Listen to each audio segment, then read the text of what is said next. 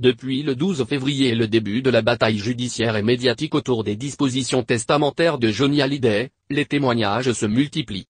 Proches et anonymes penchent en faveur ou en défaveur de tel ou tel clan. Après de longues semaines de silence, certains prennent la parole à l'image de Nathalie Baye qui fait le but ce mardi.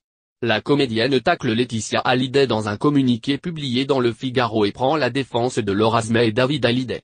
Lundi, c'est un autre proche du rocker qui prenait la parole, Jean-Marie Perrier. Le photographe s'est confié sur cette affaire pour la première fois d'As à Salamé dans Stupéfiant.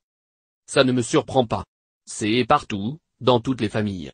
Ça n'est jamais au grand jour, mais lui, toute sa vie était au grand jour tout le temps. Ça n'est pas vraiment surprenant, indiquait l'artiste dans un premier temps sur la bataille testamentaire qui divise le clan Hallyday. Ça me fait vraiment de la peine, ça donne une image de lui qu'il n'avait pas. Ça gâche un peu ce que les gens pensent de lui, nuance toutefois Jean-Marie Perrier. Sans donner un avis tranché, le photographe penche plutôt en faveur de Laurasme et David Hallyday. Je ne le vois pas faire à ses enfants ce que son père lui a fait à lui, déclare-t-il faisant référence à Léon Smith qui ne s'est pas occupé de son fils.